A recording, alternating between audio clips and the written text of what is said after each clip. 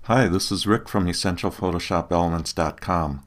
In this video we're going to learn all about the color picker in Photoshop Elements. The color picker is used mostly for changing the foreground color. The foreground color is located at the bottom of the toolbox. There are two big squares down there. There's this one on top, which is the foreground color.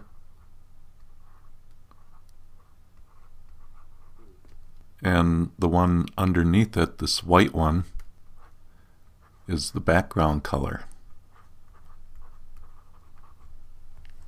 The foreground color determines a couple different things.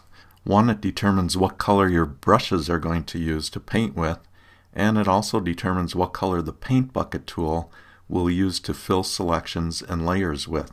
The default color for the foreground color is black but you can change it using the color picker. To do that, you just click on it and the color picker window comes up.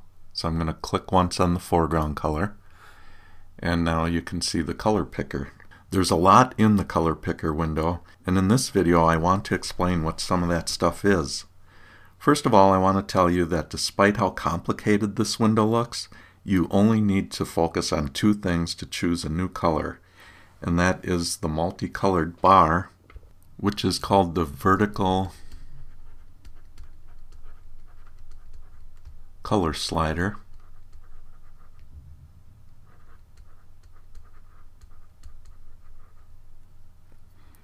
and this big square area right here which is just called the color field.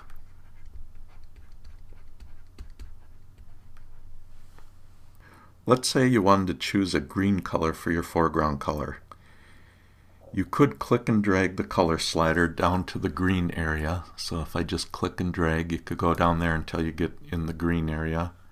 Or another way is you can just actually click in the area that you want to choose. And that gets you into the green shades.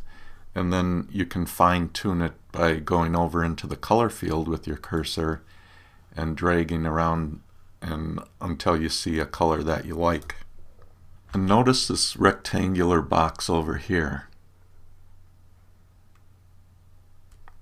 The bottom half, which is black, shows what color the foreground color was when you opened the color picker, and the top half shows the current color that you have selected.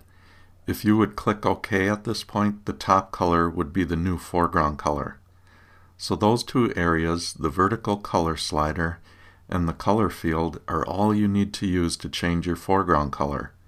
But I want to explain what the other parts of the color picker box are so that it no longer seems mysterious and scary when you use it.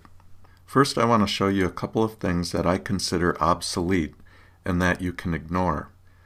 One is this checkbox down here, way at the bottom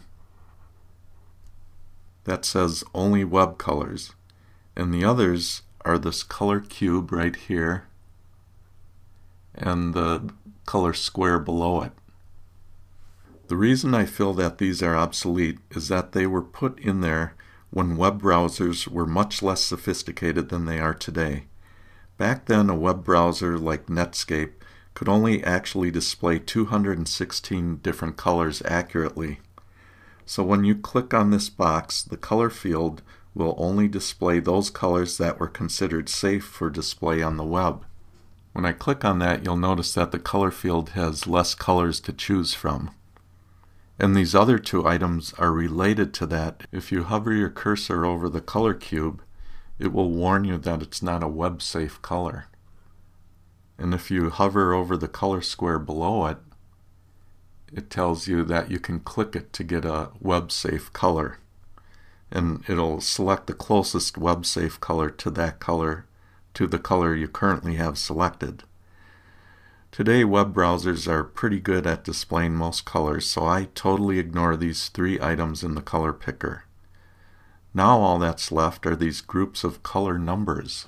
This first group is HSB, it's these three right here and that stands for hue, saturation, and brightness.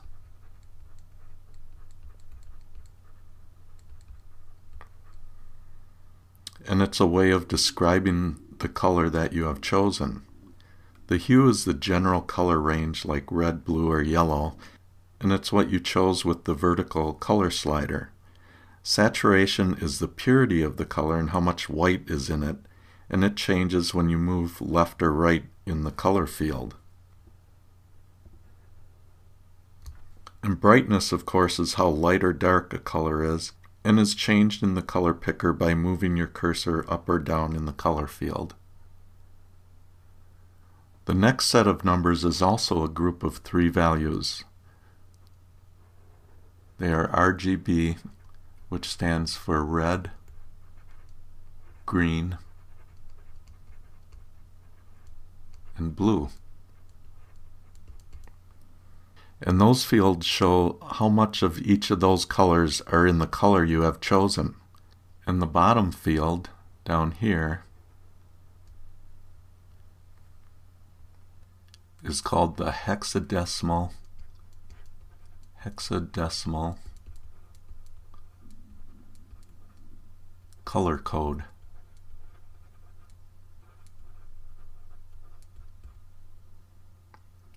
It's the code that web browsers use to display colors. So now you know that to change the foreground color using the color picker can be a simple two-step process of first choosing your hue from the vertical color slider and then narrowing it down by sliding around in the color field. So now if you would click on OK, the color that you see in the in that new box right up here, let me click OK, you can now see is your new foreground color. And you now know what all the other stuff is inside of the color picker. Congratulations, you have mastered the color picker. Until next time, this is Rick saying take care.